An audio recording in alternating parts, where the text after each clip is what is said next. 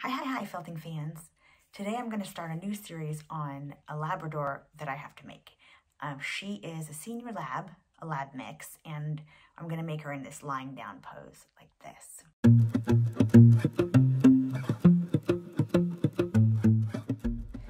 This channel is all about needle felting, so if you have any interest or you want to see how I do anything, please feel free to like it, make comments, and subscribe.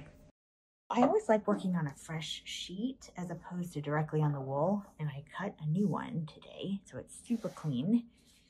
And lately I've been using 16 gauge wire for my armatures. It's stiffer and it is easier to pose. I'm gonna pick sort of this size for my front legs.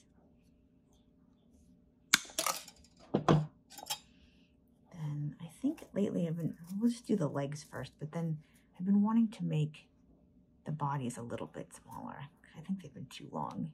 So we're gonna, rather than having three equal pieces, I'm gonna do a smaller piece for the body. Like that's the, I'll say that's the head, body, and then like a tail.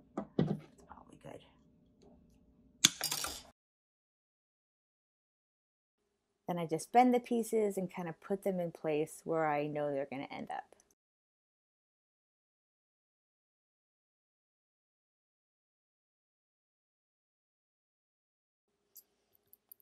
Pull a really skinny and short strand of core wool.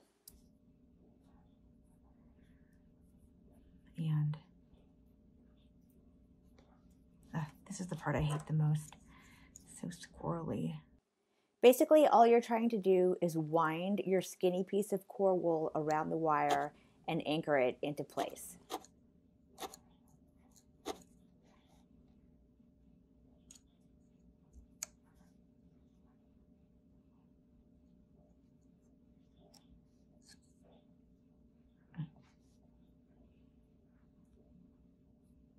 Just kind of wind it all around like this. Wind, wind, wind, wind, wind, wind a little bit, winding it all around, and then I will stab it a little bit more in place. But I'm just kind of making this anchor for this, these two pieces first.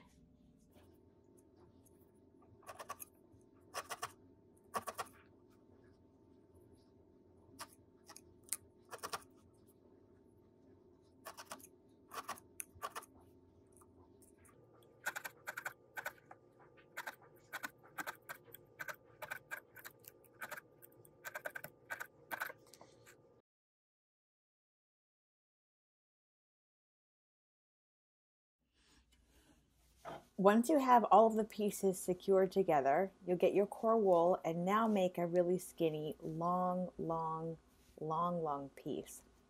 The longer the better so that you can wind it all around the wire and not have to glue it.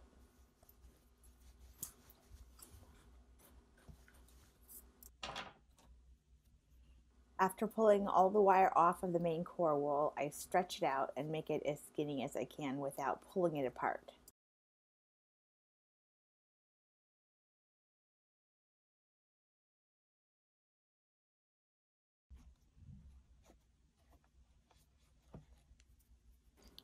Then you anchor that long strand into place and begin winding around the wire.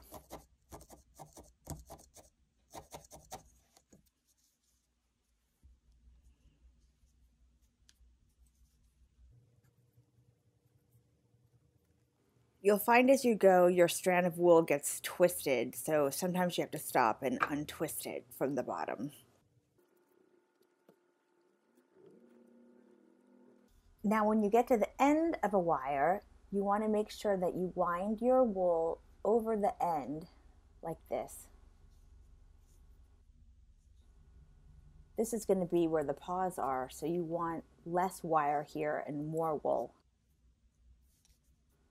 I'm trying to keep the wool untwisted and also pull it really taut so it's nice and tight.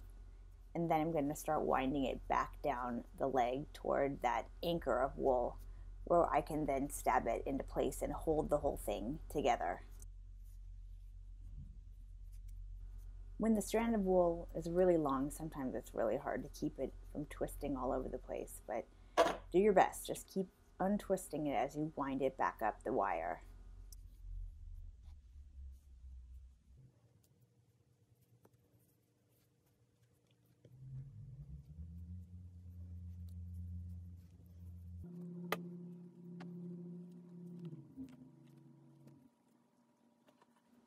Now this piece of wool is so long that I can actually wind it around the anchor and then just keep going around the other bits of wire.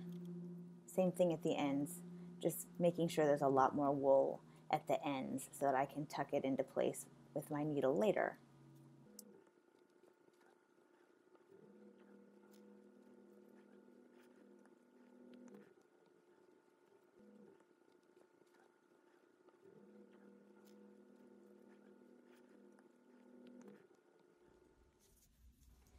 And when you get to the end, you stab it into the anchor to hold the whole thing in place. Then take your needle and tuck in all of the ends so that all of the extra wool you have on the ends of the wire are nice and tight and tucked in.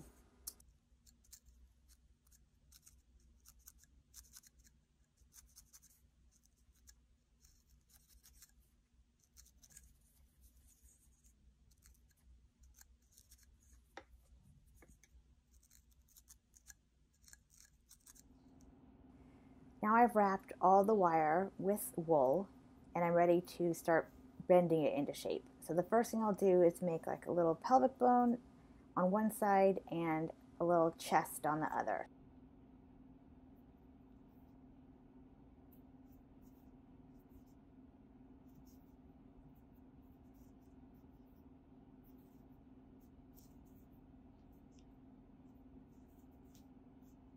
I am not great at this, but usually at this point I'll stand it up and just make sure the legs are all the same size. Next I start to bend in the hips and the back legs. You can see I'm not being too fussy about the shape, admittedly because I'm not very good at doing this, but I just want general back leg shape. This dog's going to be lying down so they don't have to be perfect.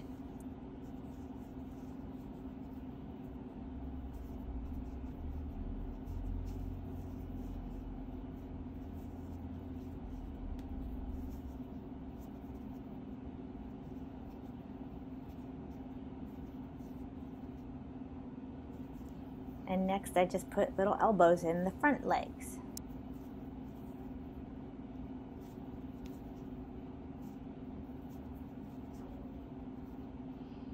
So once it can stand and the legs look pretty much like dog legs, then I could kind of bend them around to make the dog either sitting or lying down or doing other poses.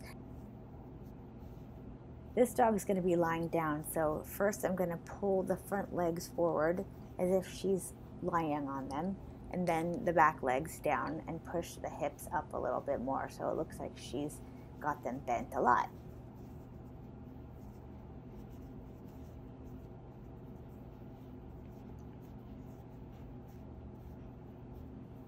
Then once the legs are pretty much in place, I'll pull the tail down and that'll be flat like that and push the head forward a little bit. And there it's kind of a rough dog lying down pose.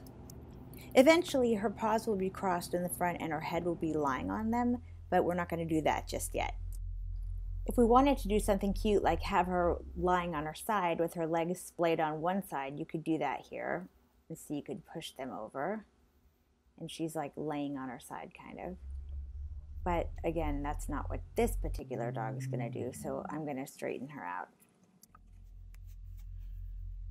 And now it's time to fill her in. So now I grab chunks of core wool and just start to fill in the chest area, her hip area, and stab it all into place.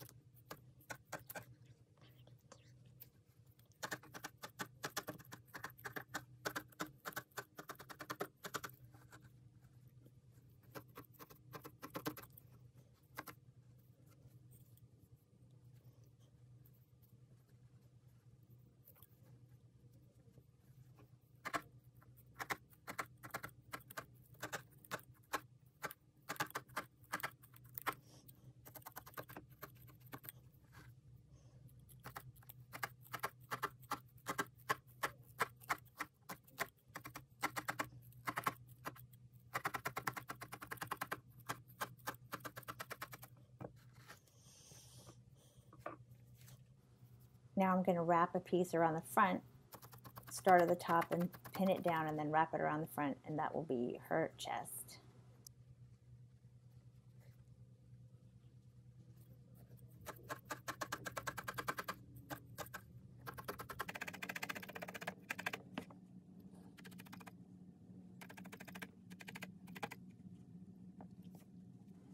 And then just chunk by chunk, I just keep filling her in.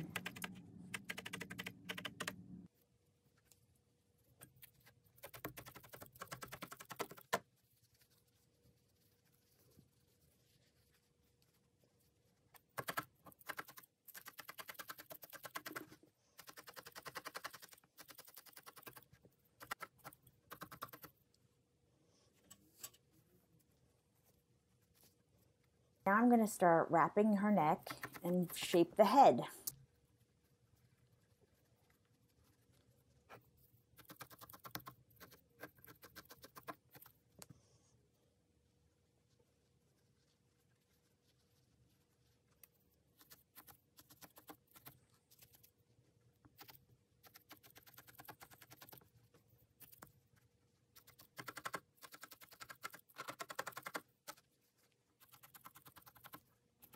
A lot of people make the head separately and then they put it on, but I still have not learned how to do that. So I always have to put the head on at the same time as I make the body so I can kind of get the size correct.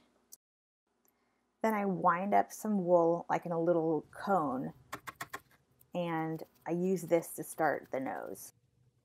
I pull the base apart a little bit and then stick it on the face and start stabbing it in. So the nose is really, really long here, but I'm going to keep stabbing it to make it firmer and shorter.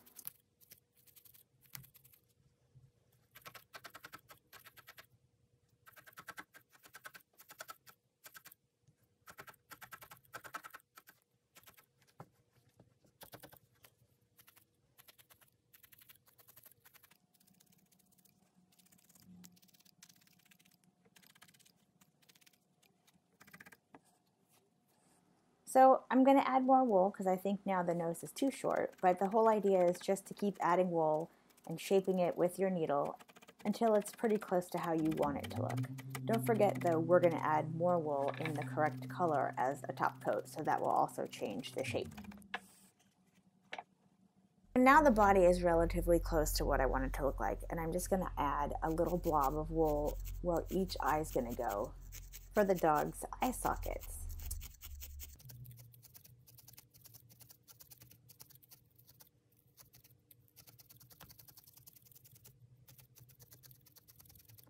Finished both of the eye sockets and now I'm just going to put in the eyeballs. I'm using a 32 heavy duty needle to do the initial poking and then I'll use an awl to make a bigger hole and put the eyes in their place.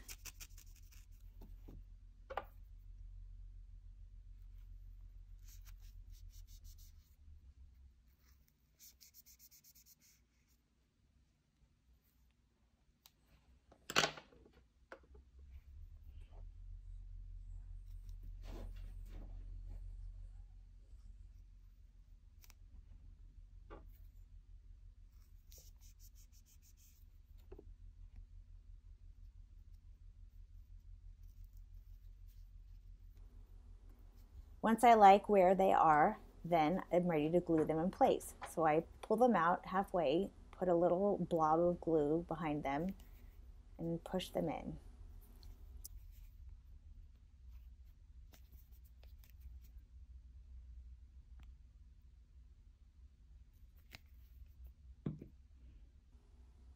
And that's pretty much it for the core body.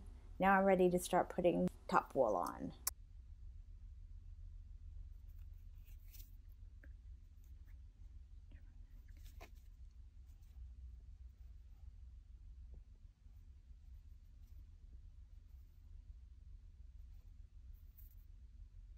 Well, thank you so much for joining me today as I made the core body and added the eyeballs for this senior black lab that I'm making. So if you'd like to see how I add the top coat and make her face and give her personality, come back again.